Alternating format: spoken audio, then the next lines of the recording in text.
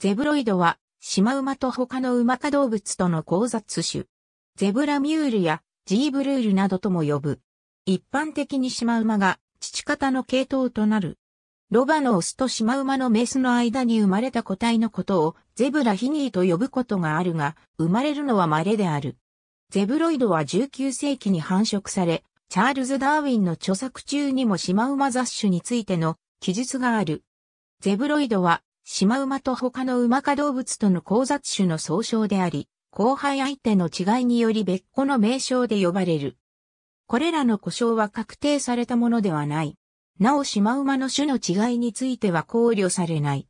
ゼブロイドの体型は、シマウマではない側の親の体型に似るものの、シマウマのような、縞模様を有する。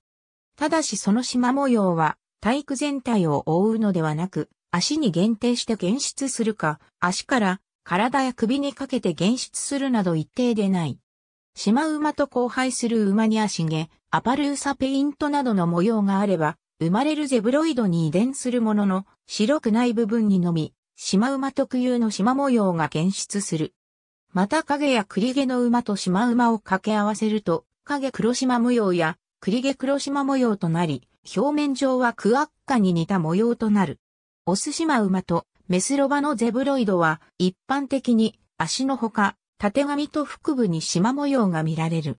ゼブロイドはシマ馬よりも乗馬などの実用に適しているものの、通常の純血種の馬よりも神経質であり、扱いづらい性格だとされる。ありがとうございます。